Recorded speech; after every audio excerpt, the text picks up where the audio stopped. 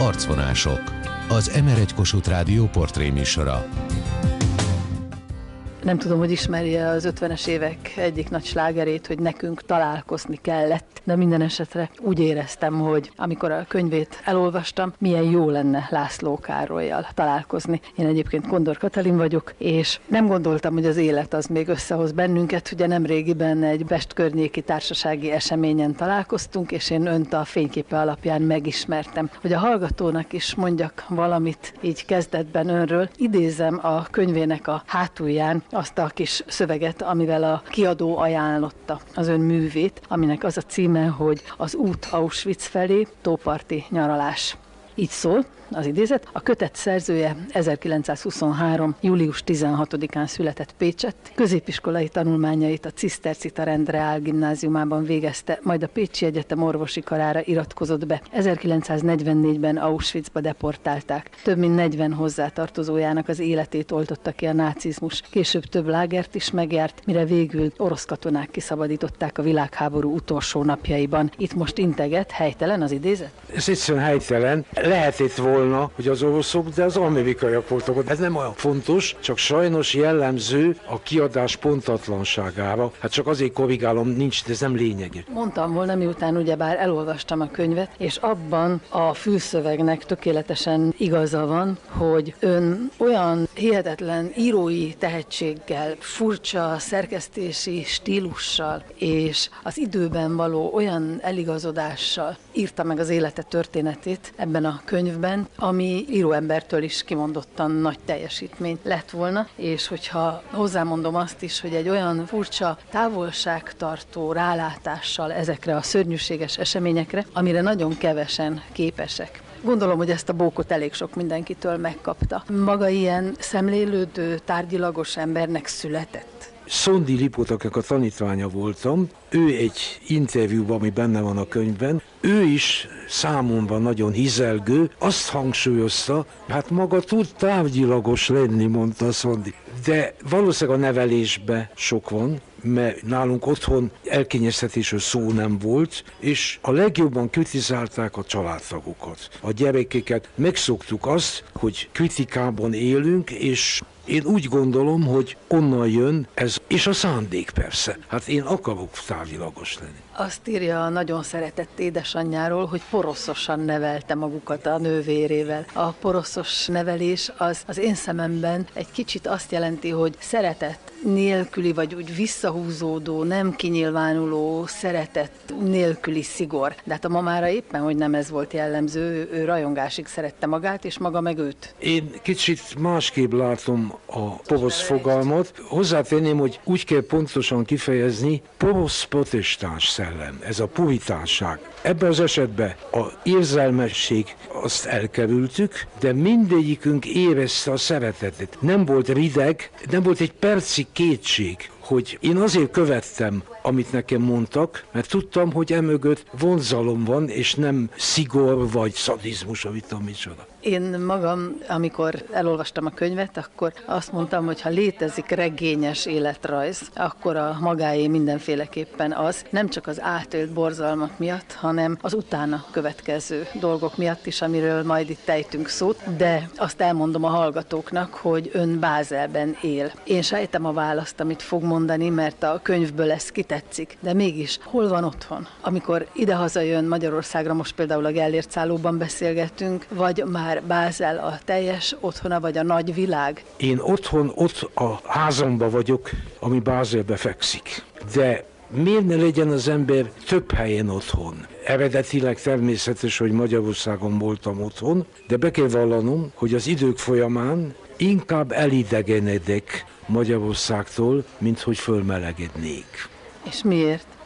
Nagyon nehéz nekem erre egy átfogó analízist adni, de próbálom azt mondani, ahogy én érzem, és látom másoknál is hasonlók. Soha nem fogok elidegenedni a magyar irodalomtól, vagy a magyar költőktől, vagy a Bartók Bélától, vagy a népművészettől. Értik? Ez egy szimbolikus valami Magyarország, és nagyon remélem, hogy talán Magyarország majd évtizedek folyamán megint fölfelé megy minden vonalon. Hozzá kell tennem, hogy ezek a úgynevezett romlások, ez sok országban van, nem csak itt. Például a magyar nyelv, ami annyira szerintem romlik, és annyira elidegenít a nyelv, amit itt beszélnek, hogy egy konkrét példát hozzak. A német és francia nyelv is romlik, nem ilyen mértékben. Vajon azért romlik, mert összegészében kevésbé igényesek az emberek, mert a romlást azt valamennyien tapasztaljuk. Azt hiszem ez egy külön tanulmányt kívánna, valószínűleg egy vastag könyv lenne ebből, hogy mik azok a társadalmi, szociológiai,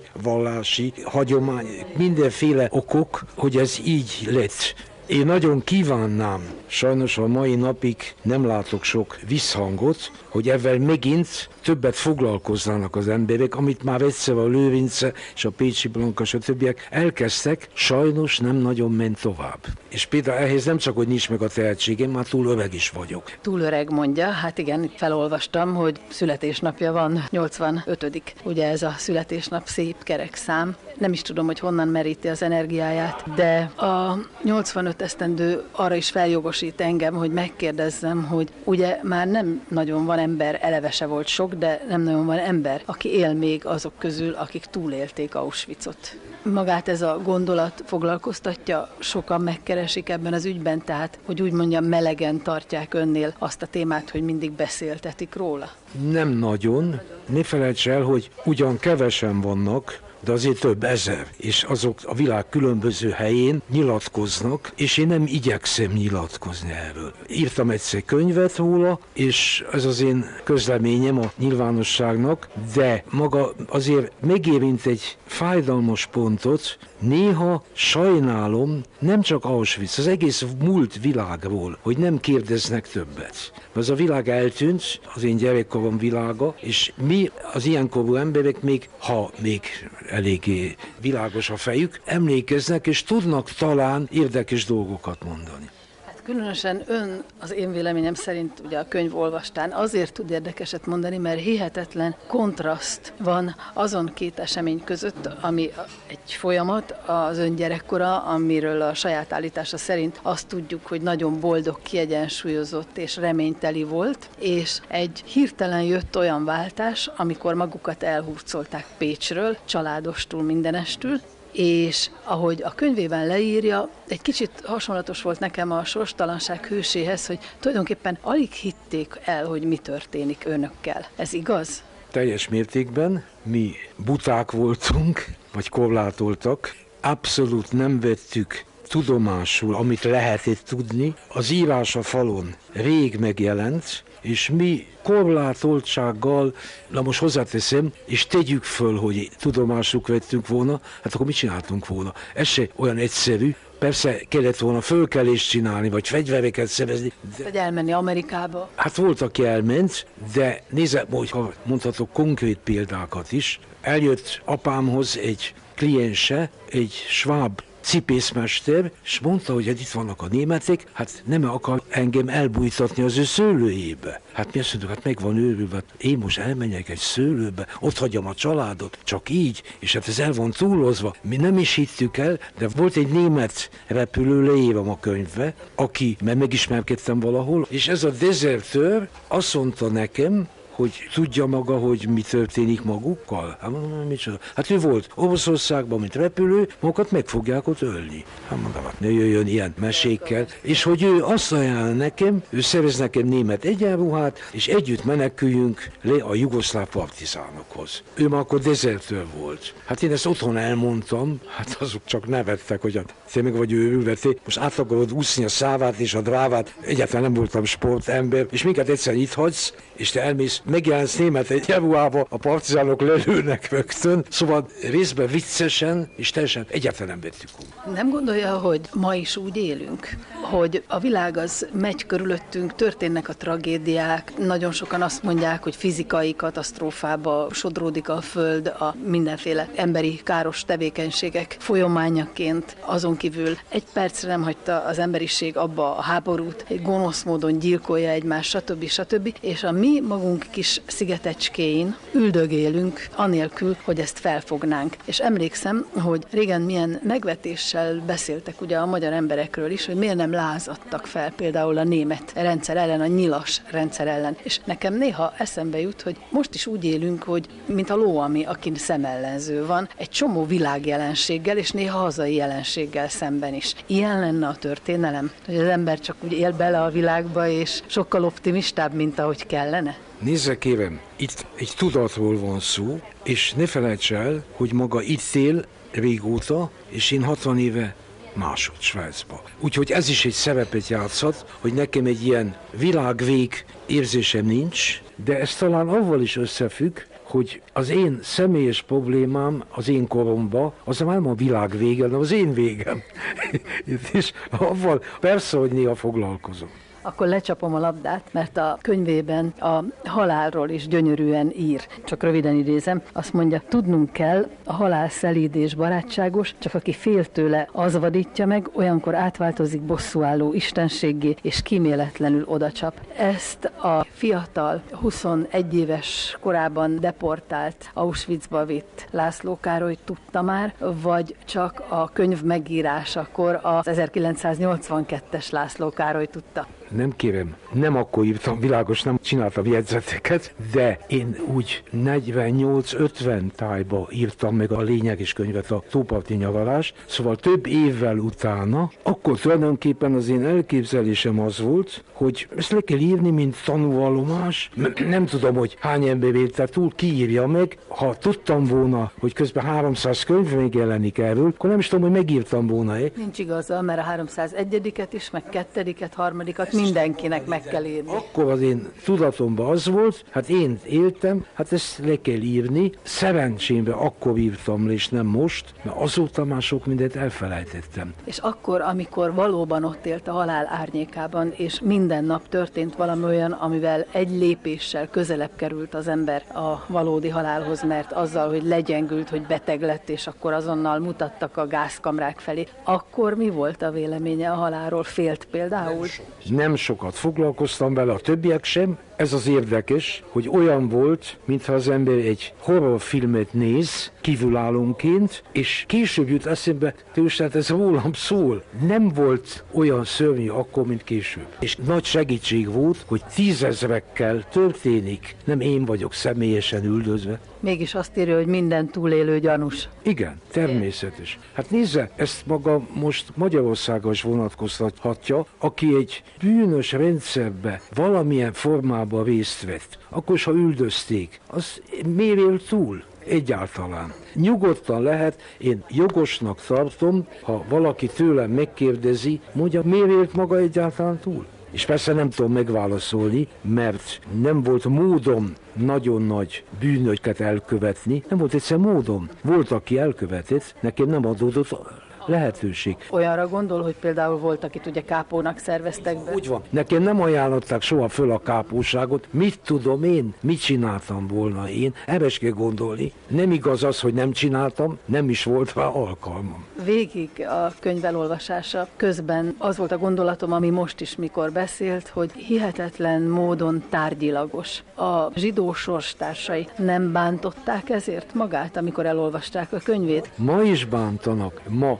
szörnyű vitáim vannak, hogyha én kritizálok például, amit szoktam az izraeli politikában, akkor rögtön azt mondják, hogy én antiszemita vagyok. A mai napig vannak emberek, akik az én úgynevezett tárgyilagosságomat ellenségeskedésnek tekinti. Mondtam már, és megismétlem, hogy a két részből álló könyvnek többből is áll, de mondjuk ami az életét illeti, az mindenképpen a két rész a lényeg, az út Auschwitz felé, az egyik címe, tóparti nyaralás, a másiké. A tóparti nyaralásról ugye azért mondjuk el, hogy miért ez, mert elvileg megtévesztő. Ez, ezt világosan meg tudom mondani. Amikor az emberek megérkeztek Auschwitzba, Amerikába, onnan volt mód egy ideig levelező lapokat küldeni haza, és ott volt egy pecsét rajta, hát ez persze félrevezetés céljából volt, és volt egy pecsét Amvaldzé a tóparton. Szóval valami üdülőhelynek nézett ki, és ezért választottam ezt a nevet. Ez nem cinikus cím. Minden esetre számomra, és javítson ki, hogyha rossz a gondolatom, az a cím, hogy az út Auschwitz felé kicsit azt sugalta, mint hogyha maga tudná azt, hogy mi vezetett Auschwitzig.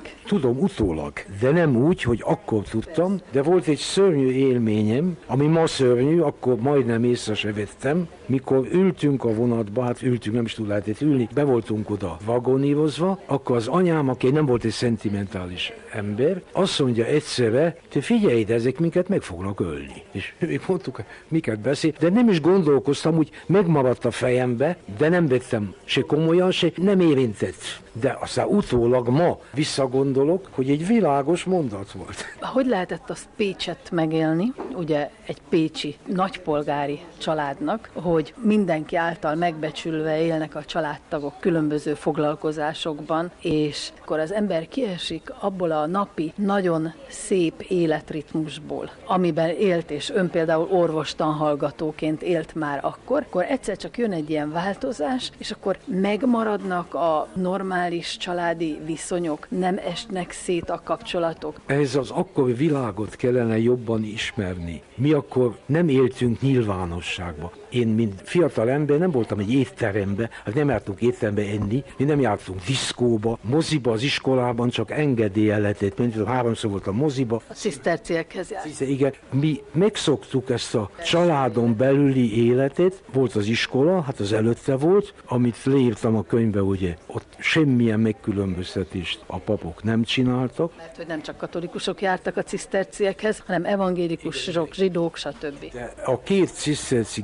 gimnáziumban, Pécs és Baja, voltak minden osztályban református, evangélikus és zsidó diákok, és ez a szisztéma egy teljes szabadságot adott mindenkinek, semmilyen megkülönböztetés nem volt. Én a nyolc év alatt a zsidó szót se hallottam soha, még a szót se. Ezek a papok, ezt azért hangsúlyozom, mert vannak ilyen tudatlan egyoldalú emberek, akik ilyen szidalmakat nyilvántak, hogy apa, az egyház, és a... hát van ilyen és olyan. Én közlöm, hogy hogy volt, semmi mást. Édesanyjáról azt mondja, hogy őrangyali ténykedésének köszönhető, hogy sértetlen maradt ön ezeknek a megpróbáltatásoknak a kellős közepén, mert hogy önérzetet és öntudatot kapott tőle, ami megvédte. Ennyire nagyon fontos a gyerekkor. Nincs kételjem, hogy ezt valaki más is már mondta, hogy a döntő élmények a gyerekkorba jönnek, és azok egy életre át megmaradnak. Más is mondta már, én is mondom, meg vagyok győződve, hogy egy férfi életében az anyához való viszonya, persze az apjához is, de az egy más valami, az anyához való viszonya egészen döntő jelentőségű. Hogy mondjak magának egy példát, nem tudom, tudja-e, hogy például a nagyon világhívű Lukás György filozófusnak porzalmas viszonya volt az anyjával gyűlölt az anyját, hogy úgy mondjam. Így lehet azt hiszem Lukás Györgyöt sokkal jobban megérteni, mert ez egy nagyon rendhagyó, kevés ember gyűlölt az anyját, ahogy én látom. És az én anyámnak kifejezetten védő angyal szerepe volt az én életemben. Most a utóbbi mondatokban a pszichiáter is beszélt magából természetesen. A pszichoanalitikus hihetetlen világhírű emberekkel találkozott már egészen fiatal korában, főképp egyel, Szondi Lipótra gondol, ugye, de elolvasva az élet történetét, hát nem csak a pszichoanalitikus is szakmában, hanem számos más szakmában is Egyébként, mikor vége volt a második világháborúnak, miért pont Bázelben telepedett le? Kinek volt ehhez köze? A háború alatt a sógorom az elhagyta Magyarországot, ez egy külön történet, Spanyolország után Svájcba. És amikor bejöttek a németek, akkor a sógorom egy volt német katonatis segítségével, aki egy nagy náci volt 33-ba, az kihozott Magyarországról hamis papírokkal 14 embert, többek között a nővéremet a gyerekkel. És az Svájcba volt. És ezt én sejtettem, nem voltam biztos. És gondoltam, megyek Svájc felé, valószínűleg ott van nővére. Egyszerű. Tehát, hogy annyi mindenki elpusztult a családjában, nem volt miért Magyarországra visszajönnie, ha jól értem, ez lemeztelenítve. Nem kérem, az őszinte válasz az, nekem az volt a véleményem, most ugyanaz elkezdődik megint, nekem egyszer elég volt. Ez volt az én álláspontom. Nekem a nácik elég volt, nekem nem kellenek még a kommunisták. És hogy találkozott Szondi Lipottal? Ugye nem tudom, ismeri a Szondi sorsát, hogy őt volt egy kolozsvári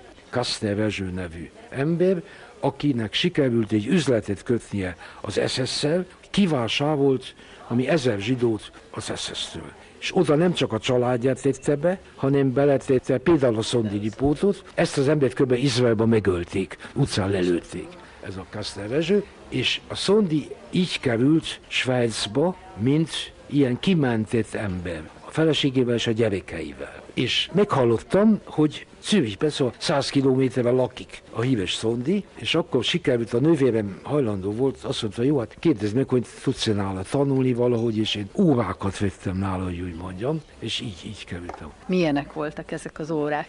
Elemeztek eseteket, vagy hogy kell elképzelni? Nem, mert ugye az ő szisztémáját tanultam, a tesztje és az elmélete. Egy tanulás volt. A szondi szisztémába bevezetés, és persze ezen alkalommal ugye magyarul beszéltünk, és bármikor lehetett beszélgetni, és nem kellett nekem pontosan tartanom magam most, hogy mivel foglalkozunk, és így kicsit megismertem őt, és a lényeg, hogy az ő teóriája az egy nagyon komplikált valami, mai napig a világon nincs elismerve, a tudományos világnál, és ezt ő is tudta, hogy így van. Ezt, erről beszélgettem vele, és mondtam neki, hogy hát, hogy látja a jövőjét, azt mondja, rosszul. Azt mondja, engem sokáig nem fognak elismerni, talán 100-150 év múlva. Olvasva az életét lehet, hogy megint egy olyan ferde gondolatom támad, amit majd kiigazít, de annyi mindennel kezdett el a háború után foglalkozni. Műgyűjtéssel, műkereskedelemmel, állítólag még a hippi mozgalommal is foglalkozott. Azon... Nem voltam, nem foglalkoztam vele.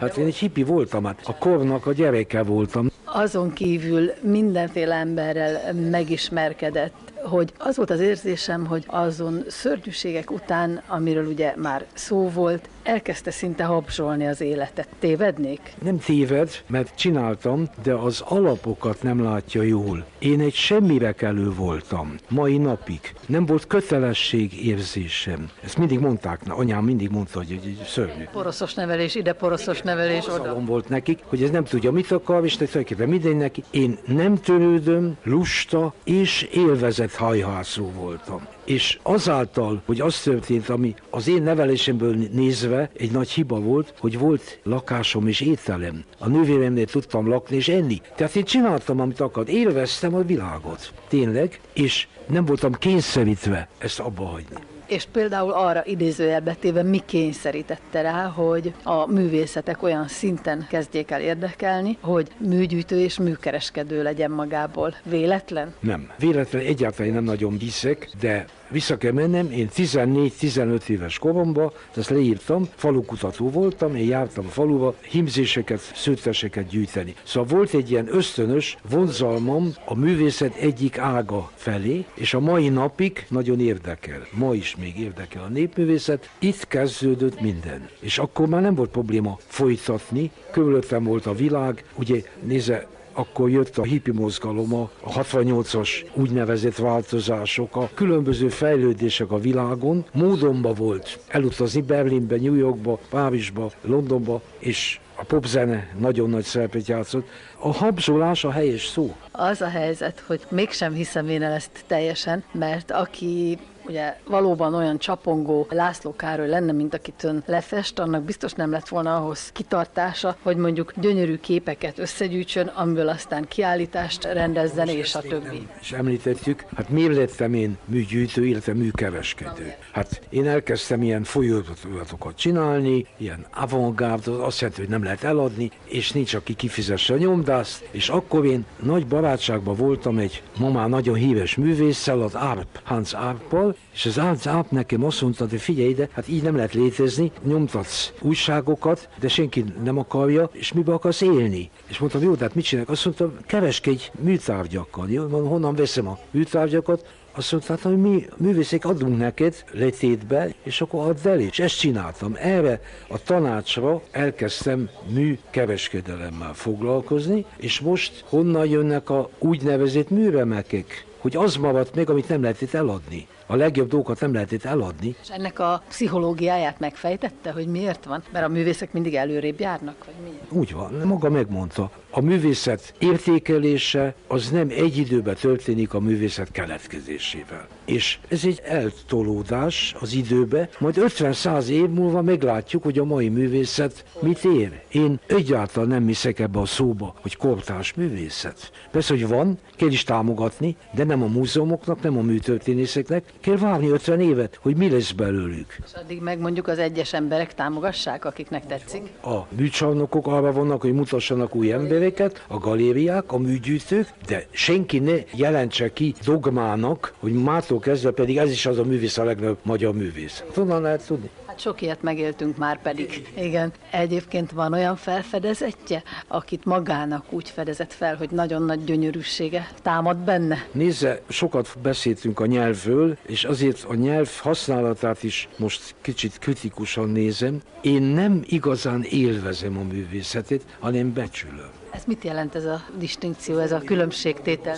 Hogy egy rossz kép sok élvezetet adhat, de nem kell rossz képeket élvezni. És a legtöbb ember ezt csinálja, hogy például hozzám, ha bejött valaki, és azt mondta, én csak azt veszek, ami nekem tetszik. Hát mondtam, akkor itt nem fog semmit találni. Nézze, hogy mikor fedez fel valamit valaki ezt nagyon nehéz időzíteni, mert általában bárkit én látok egy művész művét, már volt valaki más is, aki látta. Azt mondta, hogy én voltam az első, azelőtt senki nem látta, és senki nem becsülte, ez ritka, és nem is lehet állítani. Hát az emberek hiúk, és nagyon szeretik állítani valakiről, hogy ők fedezték fel, meg ők dobták be a köztudatba. Én inkább úgy mondanám, hogy én részese voltam ennek a tevékenységnek. Egyike voltam azoknak, aki Vazavélit először nyilvánosságba mutatta, és másokat. Tévedéseim is voltak. Végig kell menni ezen a veszőfutáson, évtizedekig, de ugye a probléma az, hogy ma nem csak Magyarország, az egész világon van egy szörnyű irányzat, ami az embereket megfertőzte, az a spekuláció azt mondja mindenki, mit érdemes venni, aminek az értéke majd fölmegy. Na most nem csak, hogy ezt nem lehet tudni, de mikor tőlem ezt valaki megkérdezi, hát én biztosan tudnám, hogy mit kell, akkor én venném meg, miért mondja meg neki, hogy ha biztos vagyok, de nem lehetek biztos. Persze. Ehhez a témához csak annyit, hogy azért is ajánlanám a könyvét mindenkinek, mert benne azon kívül, hogy néhány művészről elmondja, mondjuk Vazareliről is, hogy igen, hát az ön galériájában, illetve gyűjteményében is megfordult, olyan találó jellemzések regényeseket ír ezekről az emberekről, amiről csak azt tudom mondani, hogy ebből is látszik, hogy nagy tehetsége volt a pszichológiához. Élvezte ezeket a leírásokat? Hát a pszichológiának volt szerepe, de higgyel nekem, hogy nem volt olyan nehéz. Hát Magának. Nekem. Nem kellett őrülten erőlködnöm, hanem hogyha leírtam egy beszélgetést, Vazavéd és Kassák, és én, hát ezt csak le kellett írni, az önmaga volt érdekes, nem kellett. De nem csak azt írta le, hanem néhány művészről, többek között rokonáról is, leírt néhány olyan őszinte mondatot, aminek nem feltétlenül örülnének, hogyha olvasnák, és amiben én felismerem a pszichológiai tehetséggel megvert vagy megáldott embert. Nézze, ez egy nagyon veszélyes talaj. Azért nem írtam meg az életemet, mert befejeződik a háború után, mert azóta rengeteg érdekes dolgot éltem meg, de nagyon sok ember él még, vagy közben élt, és én nem merek leírni dolgokat, hogy volt igazán, az ő beleegyezésük nélkül, és aki meghaltott, nem is tudom a beleegyezést megszerezni, tehát inkább hagytam. Most például ezt próbálom pótolni, lesznek velem beszélgetések egy művészi folyóiratban, ahol én visszaemlékszem művészek, akiket ismertem, hogy ez azért kicsit le legyen rögzítve. Most miért jött Magyarországra? Én most, mint már többször a múltban, itt vagyok a gyűjteményeim elhelyezése. Például Veszprémben van már egy múzeum, a Budapesti Szépművészetiben megállapodtam egyik szobára, ott lesz, és ezt a dolgokat adminisztrálni, és talán adódik még más is. Ez az, ami meglepő módon működik. Az a dolog, ami nekem a legfontosabb lett volna, hosszú évtizedek óta, az a magyar nyelvvel valami hasznos tevékenység, az nem, az, az egy csőd. Akkor hadd legyen már egy utolsó kérdésem, hogyha egy olyan ember, aki magyarul angolul, franciául, németül, anyanyelvi szinten beszél, és 1945 óta nem is él itthon. Azt miért érdekli annyira a magyar nyelv ápolás? Miért érdekli annyira, hogy a magyar nyelv ne menjen tönkre? Röviden tud erre válaszolni? Megpróbálom. A identitás egyik legfontosabb faktora az a nyelv. Gondolkodás nyelv nélkül nincs. Tehát az, hogy az ember egy ember legyen, ehhez gondolkodni, tudni, és ez nyelv kell. Szóval az ember azt hiszem az, ami, aminek született, az nem egy véletlen. A mögött vannak a gének, a szülők, a nagyszülők, az ország, a környezet, ez mind benne van. De ezzelől kibújni, ez nem csak, hogy nem nagyon szép dolog, de nincs is értelme. Hát ebből lehet mindent meríteni.